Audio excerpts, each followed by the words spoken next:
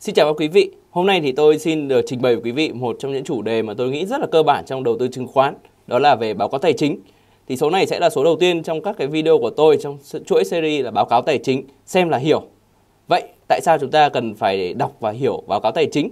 Có rất nhiều ý kiến cho rằng báo cáo tài chính chỉ dành cho những chuyên viên phân tích này, những người có trình độ chuyên môn về tài chính này, những nhà đầu tư chuyên nghiệp. Thế nhưng tôi khẳng định rằng việc đọc và hiểu báo cáo tài chính là một trong những kỹ năng quan trọng của bất cứ nhà đầu tư nào và nó cũng chắc chắn là sẽ không quá khó như các bạn tưởng. Tất nhiên, báo cáo tài chính thì chỉ là một trong những điều kiện cần chứ chưa phải là điều kiện đủ để chúng ta có thể quyết định đầu tư. Nhưng nó vẫn là một nguồn thông tin cực kỳ hữu ích để chúng ta có thể hiểu về doanh nghiệp mà mình đang quan tâm. Chẳng hạn như là công ty đó đang làm ăn như thế nào, tỷ suất sinh lời ra sao, dòng tiền có ổn định không. Báo cáo tài chính thì cung cấp cho chúng ta thông tin về tình hình của công ty trong quá khứ lẫn hiện tại. Nhưng bên cạnh đó thì nó còn cung cấp thêm cho chúng ta rất nhiều gợi ý về công ty trong tương lai. Rất nhiều người khi mà đầu tư thì chỉ nghĩ đơn giản là nghe nói mã cổ phiếu này chuẩn bị chạy thì là sẽ mua hoặc là mua một cái mã ABC gì đó khi được một người này phím là mua đi mua đi. Nếu làm theo cách này thì tôi đảm bảo với quý vị rằng chắc chắn là các bạn sẽ mất tiền về dài hạn. Còn nếu chúng ta muốn hạn chế được việc rủi ro, hạn chế được việc thua lỗ, muốn đầu tư một cách đúng nghĩa thì chỉ có cách là học thôi. Và hôm nay là một chuỗi đầu tiên trong cái chuỗi của chúng tôi, đó là cách để mà đọc hiểu được báo cáo tài chính. Tổng quan nhất về báo cáo tài chính thì thông thường một báo cáo tài chính sẽ gồm có 4 phần. Phần đầu tiên nó là bảng cân đối kế toán, phần thứ hai là kết quả hoạt động kinh doanh, phần thứ ba là lưu chuyển tiền tệ và phần cuối cùng là thuyết minh của báo cáo tài chính. Về phần đầu tiên nó là phần về bảng cân đối kế toán. Thì bảng cân đối kế toán thì sẽ cung cấp cho chúng ta được bức tranh tài chính của công ty tại thời điểm mà vào mà ngày báo cáo. Bảng cân đối kế toán thường sẽ gồm hai phần chính. Như quý vị có thể thấy đó là một là cột đó là phần tài sản. Hai là nguồn vốn. Phần tài sản để cho chúng ta biết được là công ty thì đang có những cái tài sản gì, cơ cấu của tài sản công ty như thế nào, có bao nhiêu tiền bao nhiêu máy móc, thiết bị, bao nhiêu hàng tồn kho này, bao nhiêu phải thu này. Đó, tức là nó sẽ cho chúng ta biết là công ty đang có những cái gì về tài sản. Phần thứ hai là nguồn vốn. Tức là cơ cấu, phần này sẽ cho chúng ta biết được là cơ cấu nguồn vốn của công ty. Tài sản của công ty được hình thành từ nguồn vốn nào? Có thể là từ nguồn vốn vay hay là nguồn vốn chủ. Bao nhiêu phần trăm thì là vốn vay, bao nhiêu phần trăm là vốn chủ. Trong phần vốn vay thì nó sẽ là bao nhiêu phần trăm là vay ngắn hạn bao nhiêu phần trăm là vay dài hạn cũng như là vốn chủ là bao nhiêu. Như quý vị có thể thấy ở đây tôi sẽ chỉ cho quý vị một trong cái ví dụ của một công báo cáo tài chính bảng cân đối kế toán của một công ty trên sàn, đó chính là của cổ phiếu Hòa Phát và chứng khoán là HPG. Thì chúng ta có thể thấy là cái bảng cân đối kế toán của công ty thì trước tiên là về phần tài sản. Đây chúng ta thể nhìn đây của tài sản của công ty đang có tổng tài sản là 207.000 tỷ một con số rất lớn. Và trong con số tổng tổng cộng tài sản này thì nó sẽ chia ra hai phần, đó là phần tài sản ngắn hạn và phần tài sản dài hạn. Trong đó thì tài sản ngắn hạn sẽ gồm tiền này, các khoản đầu tư tài chính này, ví dụ tiền gửi ngân hàng này, hàng tồn kho ở công ty này, sắt thép, nguyên vật liệu này, các tài sản ngắn hạn khác này. Về phần tài sản dài hạn thì chủ yếu của Hòa Phát sẽ là phần tài sản cố định hữu hình. Ở đây chính là nhà máy máy móc đất đai để xây dựng nhà máy. Và cái phần này thì là chiếm khá là nhiều trong cơ cấu tổng tài sản của Hòa Phát. Chắc phải lên đến 70 trên 207 tỷ, tức là nó phải lên đến khoảng 30% hơn 33% tiếp đến là bất động sản đầu tư đầu tư tài chính dài hạn này. Đó, đấy là về phần cơ cấu tài sản của, trong bản cân đối kế toán. Khi nhìn vào đây chúng ta đấy, như tôi nói trên, chúng ta có thể hiểu được là công ty thì đang có tổng tài sản là bao nhiêu. Và trong đó thì bao nhiêu phần trăm là tiền tiền là bao nhiêu này, hàng tồn kho bao nhiêu, phải thu bao nhiêu cũng như là tài sản cố định là bao nhiêu. Ở phần tiếp theo của báo cáo tài chính thì báo bảng cân đối kế toán thì nó sẽ là phần nguồn vốn. Trong nguồn vốn thì sẽ chia ra hai phần, đó là thứ nhất là phần cơ cấu về nợ, thứ hai đó là nợ đây, như quý vị có thể thấy là trong cơ cấu nợ của Hòa Phát là 107 tỷ trên tổng cộng nguồn vốn là 207 tỷ và vốn chủ sẽ là phần còn lại là 99.000 tỷ. Lưu ý là luôn luôn ở trong một bảng cân đối kế toán là phần tổng cộng nguồn vốn sẽ bằng tổng cộng tài sản. Vì cái phần nguồn vốn này sẽ là phần giải thích, gần như là sẽ là phần giải thích cho việc là cái tài sản của công ty trên thì được hình thành dựa trên nguồn vốn là gì, tức là cái nguồn của cái khoản tiền để hình thành cái tài sản đó là khoản nào. Có thể nó là nợ vay, có thể là vốn chủ. Vốn chủ đây là tiền của cổ đông góp vốn vào công ty. Còn nếu mà là nợ thì nó sẽ là đây, ví dụ như là trong 207 nghìn tỷ tài sản thì nợ ngắn hạn của Hòa Phát là 56 nghìn, nợ và vay nợ tài chính dài hạn là 13 nghìn, tức là tổng vào nó lanh quanh tầm khoảng 69 nghìn là nợ. Vốn nợ phải trả lãi trên tổng cộng là 207 nghìn tỷ tài sản. Vậy là tỷ lệ nợ trên vốn chủ, trên tài sản nó cũng lanh quanh, tôi nghĩ là khoảng tầm một nửa, hơn một nửa 107 trên 207 nghìn tỷ. Đó. Phần tiếp theo của báo mục báo cáo tài chính, đó chính là phần báo cáo kết quả hoạt động kinh doanh thì đây là cái yếu tố mà được rất nhiều nhà đầu tư quan tâm thì đúng như tên gọi, báo cáo kết quả hoạt động kinh doanh cho chúng ta biết được tình hình hoạt động kinh doanh của công ty cụ thể là công ty có doanh số ra sao, bán được bao nhiêu tiền, phát sinh các loại chi phí như thế nào và cuối cùng đó là lãi lỗ của hoạt động của công ty trong kỳ vừa rồi ra sao. Thông thường thì các nhà đầu tư lại chỉ hay quan tâm đến lãi lỗ sau thuế nhất. Nhưng như tôi đã nói là báo cáo kết quả hoạt động kinh doanh thì cho chúng ta biết được nhiều điều hơn thế. Nó có thể cho chúng ta biết được về khả năng cạnh tranh của công ty đó so với cả các đối thủ cùng ngành. Dòng đầu tiên của báo cáo hoạt động kinh doanh đó chính là doanh thu. Sau đó thì sẽ đến các cái chi phí khác như là giá vốn này, chi phí quản lý doanh nghiệp này, chi phí bán hàng, chi phí tài chính.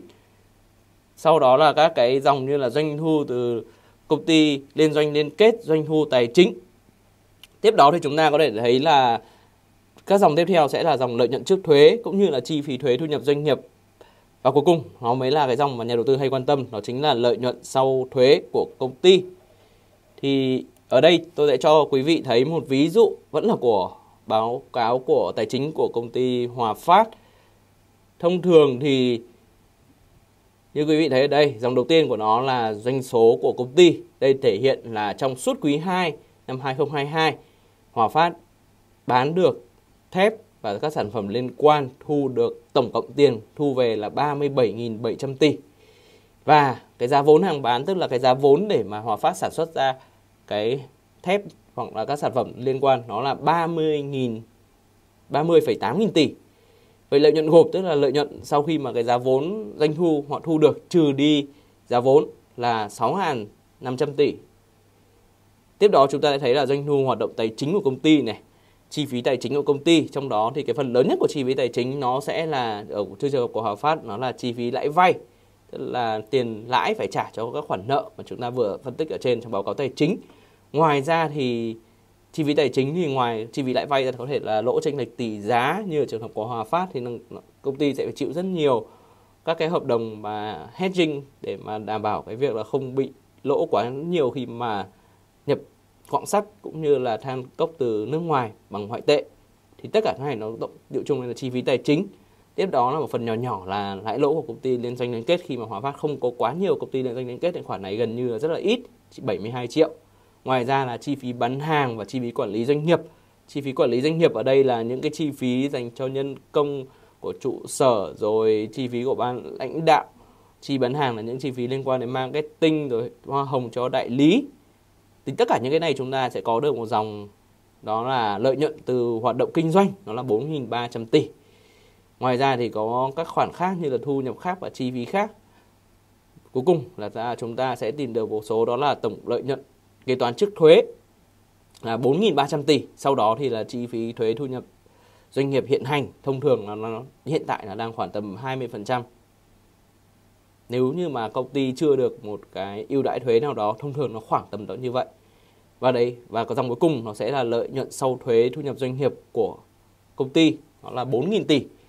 Trong cái lợi nhuận sau thuế của công ty thì lại chia ra hai phần, đó là lợi nhuận sau thuế của cổ đông công ty mẹ và lợi nhuận sau thuế của, lợi ích của cổ đông không kiểm soát tức là đây là lợi ích của phần lợi nhuận thuộc về cổ đông nhỏ lẻ của những cái công ty con của Hòa Phát mà trong đó thì Hòa Phát nắm chi phối.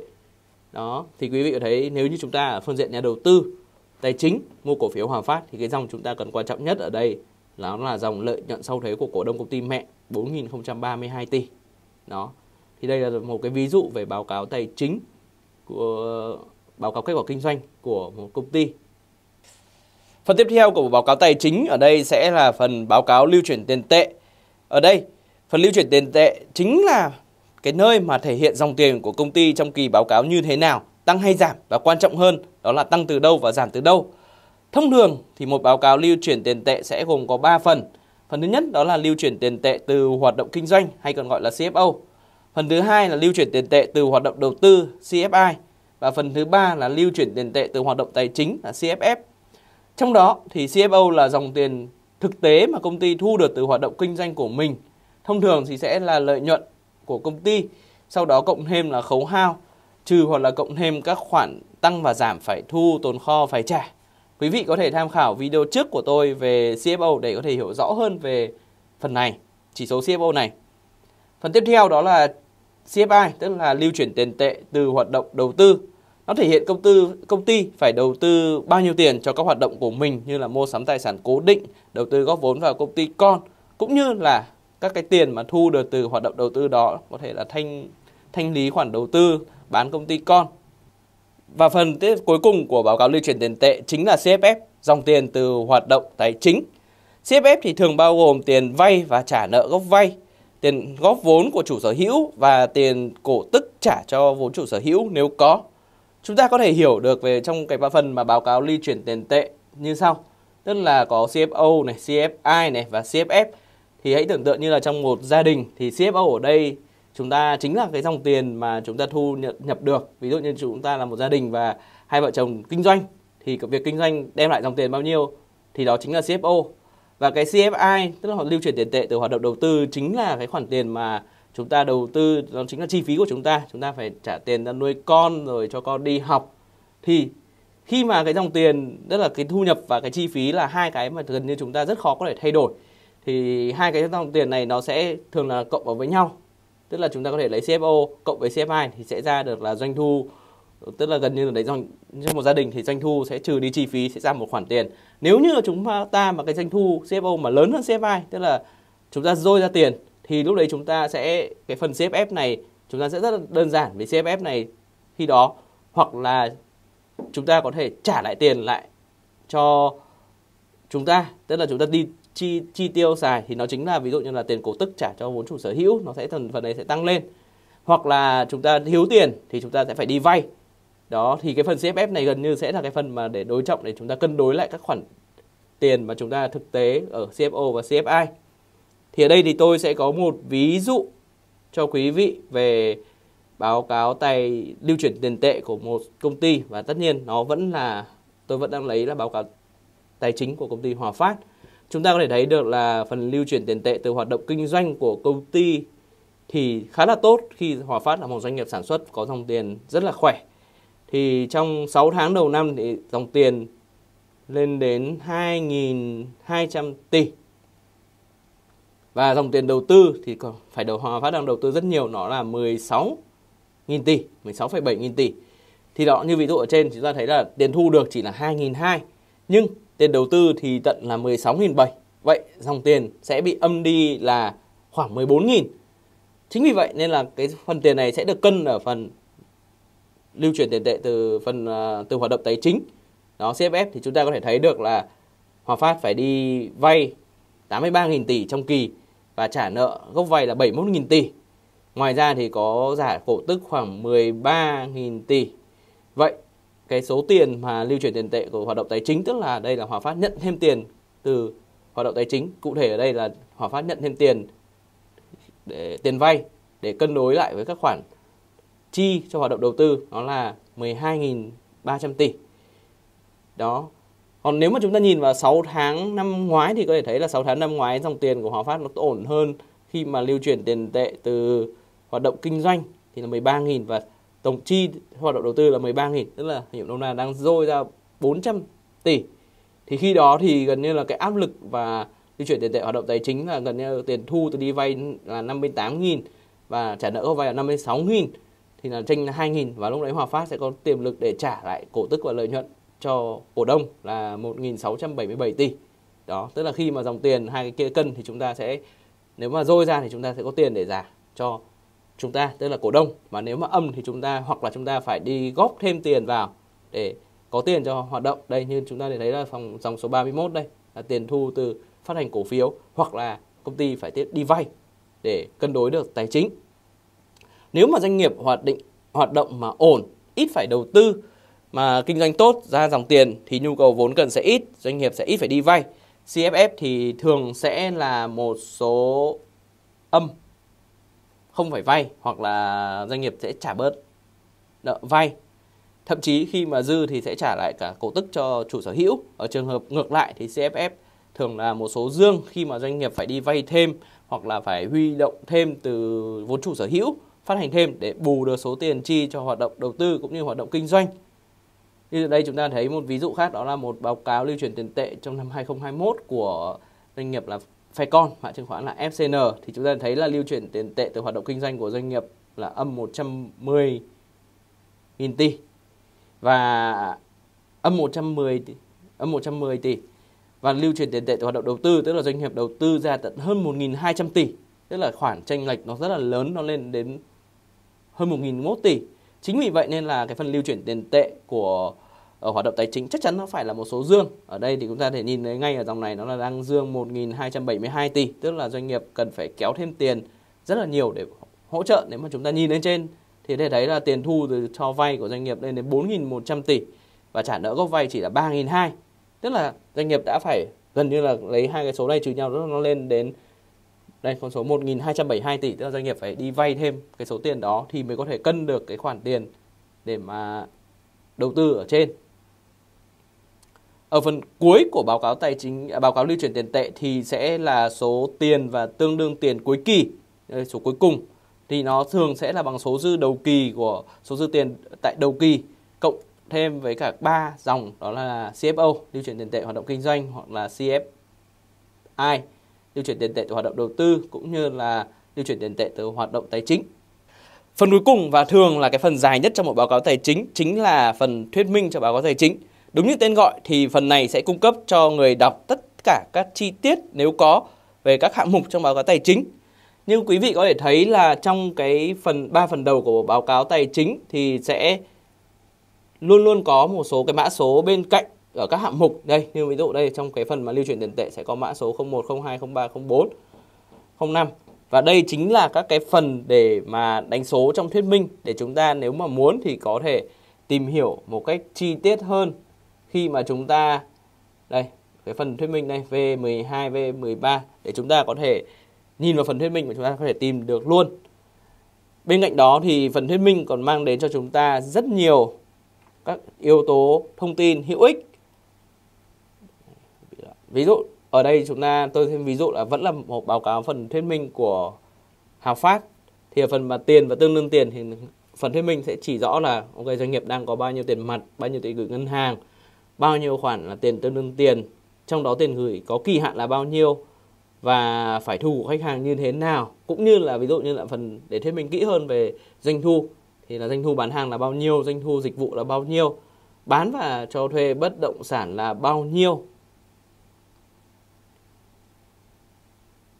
Đó, cũng như là bóc tách các cái chi phí của công ty như là trên là ví dụ chi phí bán hàng thì trong đó thì chi phí quảng cáo là bao nhiêu này, chi phí nhân viên bao nhiêu này, khấu hao bao nhiêu, vận chuyển hàng hóa là bao nhiêu, cũng như là các dịch vụ mua ngoài. Đó, hoặc là phân tích kỹ hơn về chi phí quản lý doanh nghiệp như là nhân viên khấu hao hoặc là mua ngoài. Ngoài ra thì nó cũng có rất nhiều các thông tin khác hữu ích, ví dụ như là Hòa Phát là một tập đoàn rất là đa ngành nghề.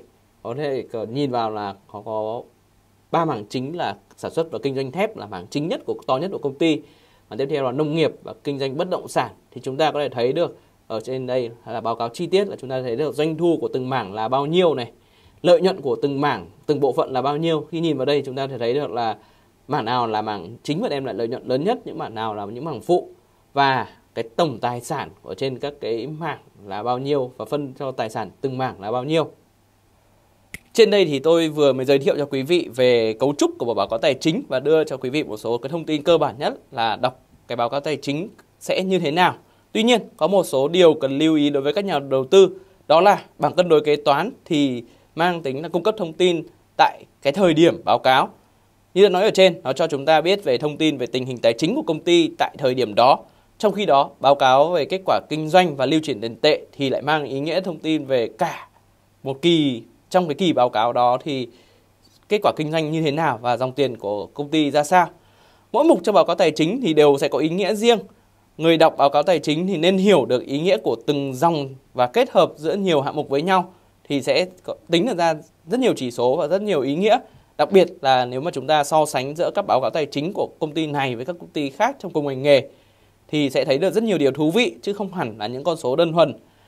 Trong những video sắp tới thì tôi sẽ hướng dẫn cho các bạn có thể một số ví dụ hoặc là cụ thể về cách đọc, hiểu từng hạng mục trong báo cáo tài chính.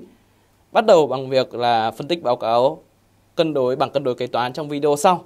Hãy like và subscribe để ủng hộ tôi nhé.